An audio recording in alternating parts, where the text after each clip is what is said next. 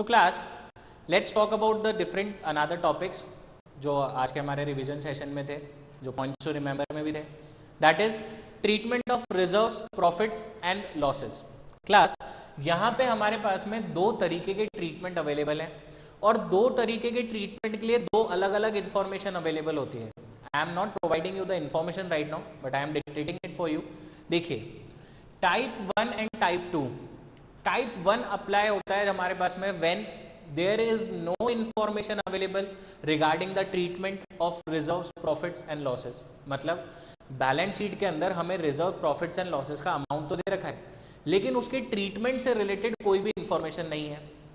And the other will be the other points will be information is there और information में देते हैं वो हमें that the old partners have decided to distribute the reserves among them या फिर वो बोल देंगे the partners have decided not to show the amount of reserves profits and losses in the new balance sheet यानी कि अगर आपको information दी जाती है कि पार्टनर्स रिजर्व्स को प्रॉफिट्स को लॉसेस को डिस्ट्रीब्यूट करना चाहते हैं, और या फिर अगर आपको इंफॉर्मेशन दी जाती है कि पार्टनर जो है, वो बैलेंस शीट के अंदर रिज़र्व प्रॉफिट या लॉसेस शो नहीं करना चाहते तो हमारे पास में हमेशा टाइप वन अप्लाई होगा।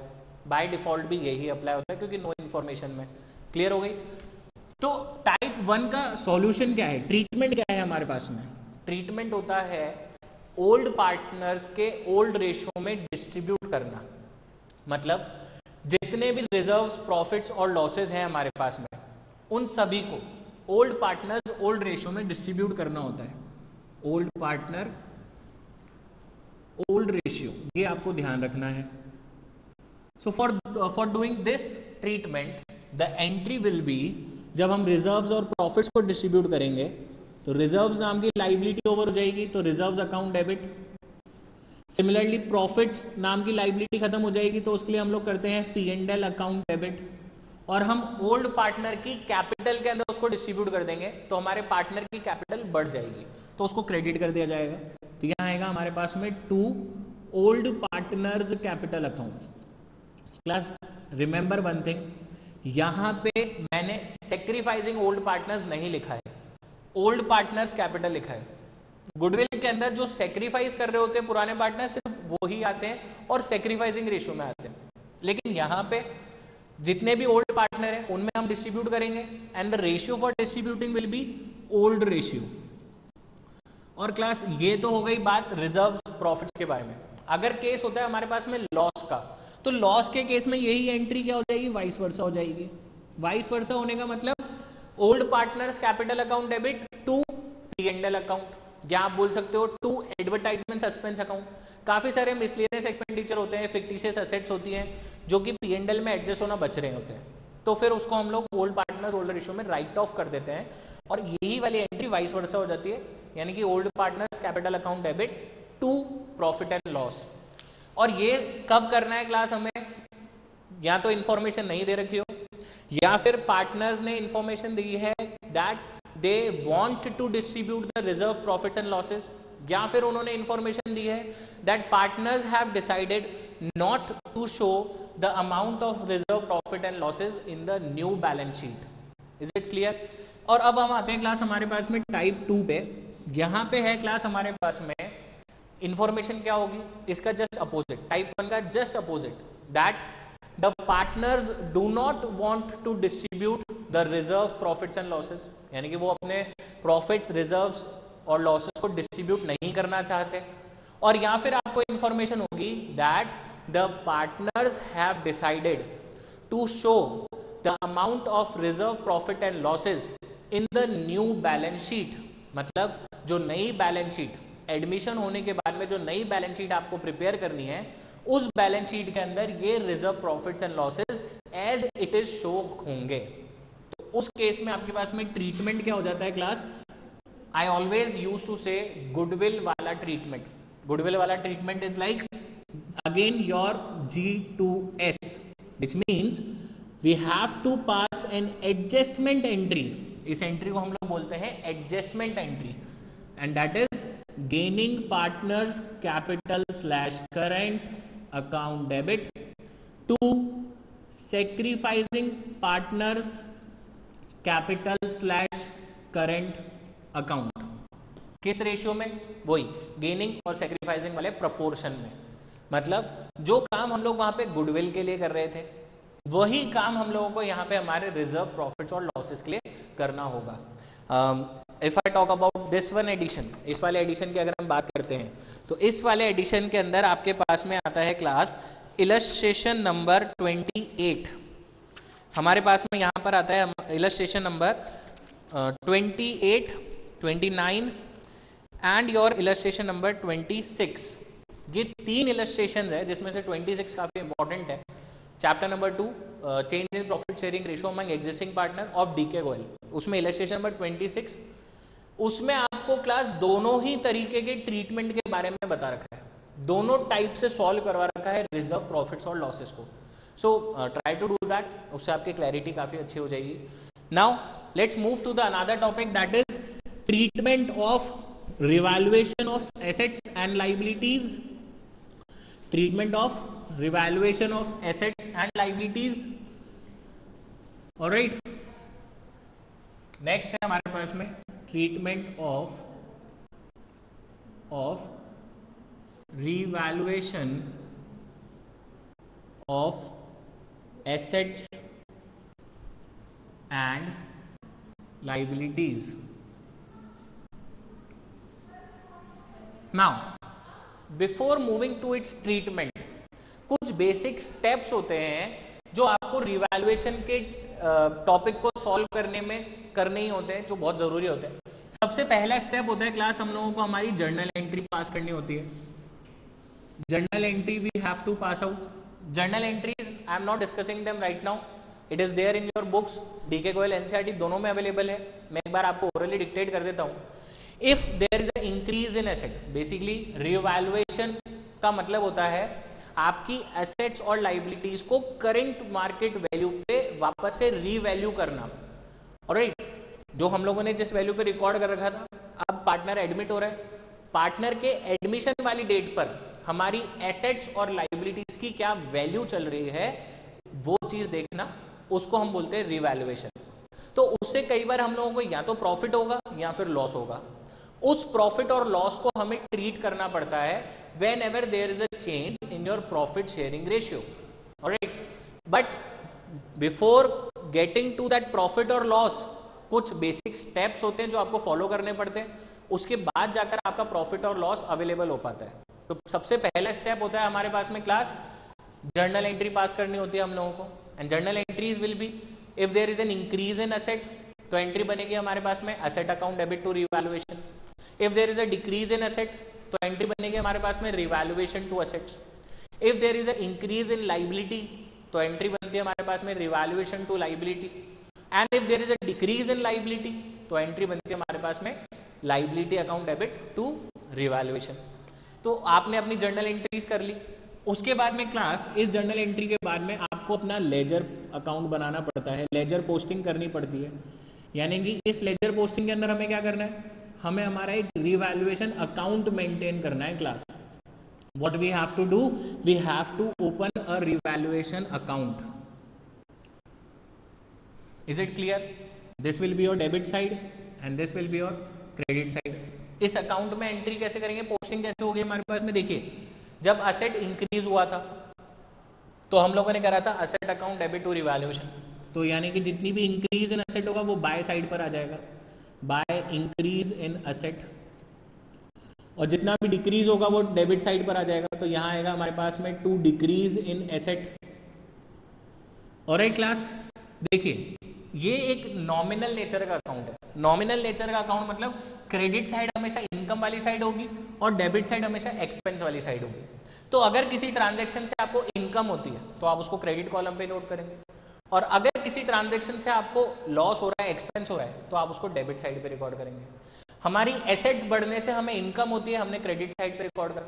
सिमिलरली एसेट कम होने से हमें लॉस होता है, हम लोगों ने उसको डेबिट साइड पे रिकॉर्ड करा। इज़ इट क्लियर अब अगर हमारी लाइबिलिटीज कम होती हैं तो यहाँ पर आ जाएगा बाय डिक्रीज इन लाइबिलिटीज क्योंकि it will create income for you by decrease in liabilities और यहाँ आ जाएगा क्लास हमारे पास में to increase in liabilities now ये हो गया हमारा सेकेंड स्टेप थर्ड स्टेप पर हम लोग आते हैं, ये दिस वो second now third one is your calculate balancing figure calculate balancing figure और वो बैलेंसिंग फिगर क्या कहलाएगा? प्रॉफिट और लॉस ये होगा हमारा प्रॉफिट और लॉस तो आप देखिएगा कैसे होता है ये.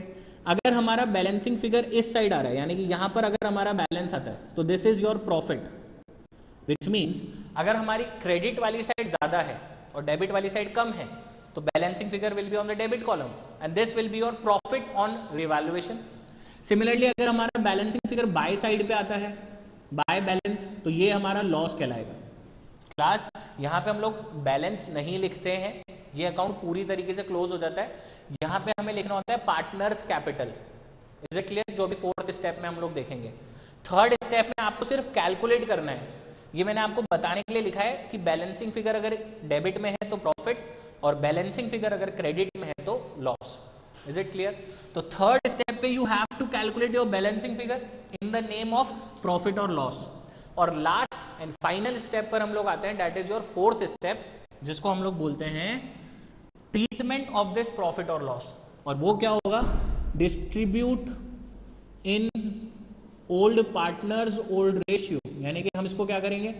ओल्ड पार्टनर्स ओल्ड रेशियो में डिस्ट्रीब्यूट कर देंगे।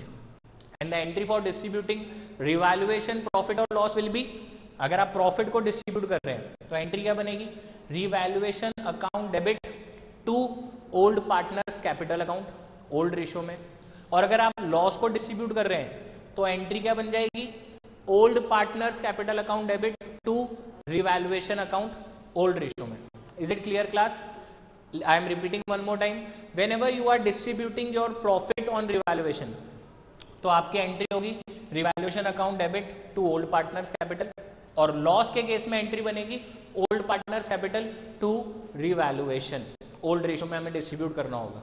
और right class this is the treatment of profit और लॉस ऑन रिवैल्यूएशन पर इस प्रॉफिट और लॉस पे पहुँचने के लिए हमें ये बेसिक स्टेप्स को फॉलो अप करना होता है।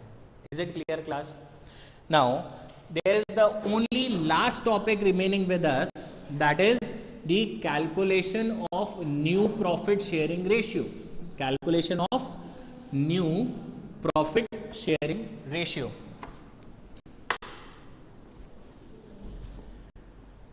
Uh, class whenever you are dealing with the uh, chapter admission or I must say admission of a partner तो यहाँ पे हमारे पास में न्यू प्रॉफिट शेयरिंग रेशियो करने के लिए काफ़ी सारे इलस्ट्रेशन हैं।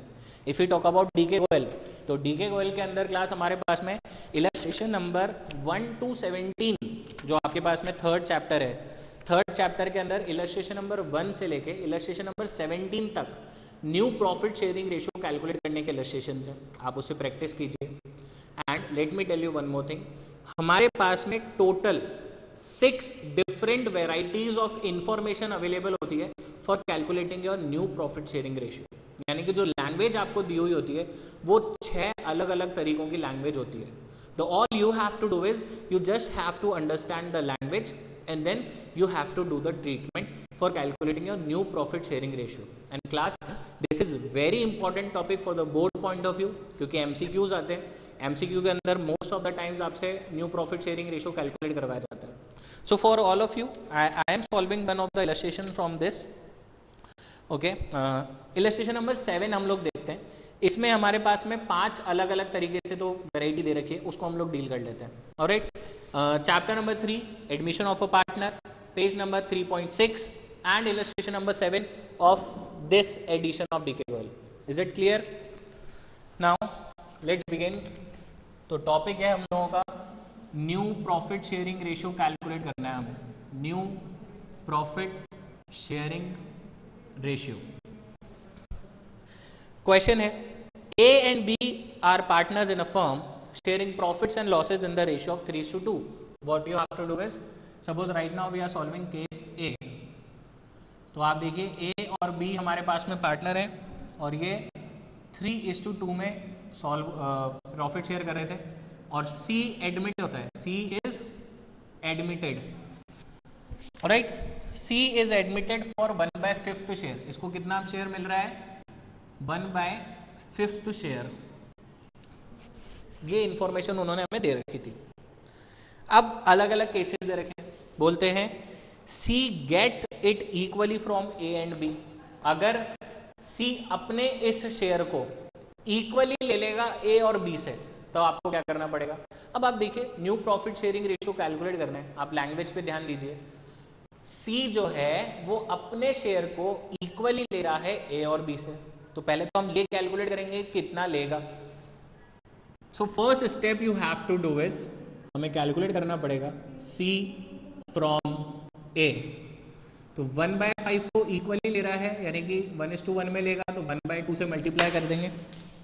Is it clear so one by five into one by two will be one by ten और similarly C from B one by five into one by two ये भी one by ten तो देखिए आप equally हो गए दोनों से इक्वली ले लेगा।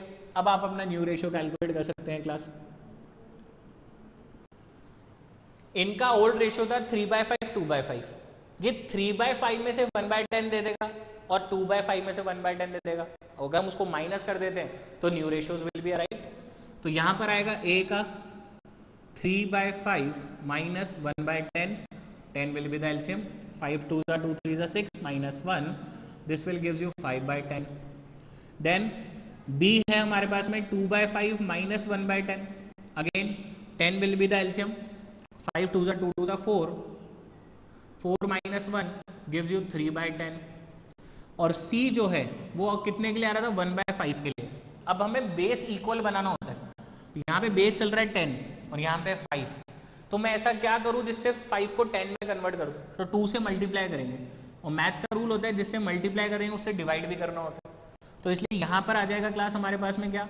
टू बाई टेन तो आप देख सकते हैं रेशियो आ गया हमारे पास में।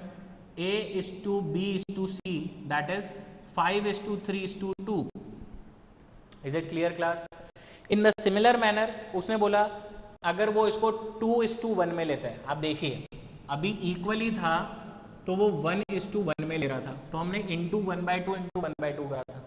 अगर वो इसको टू इज़ टू वन में लेता तो यानी कि वो क्या कर रहा था?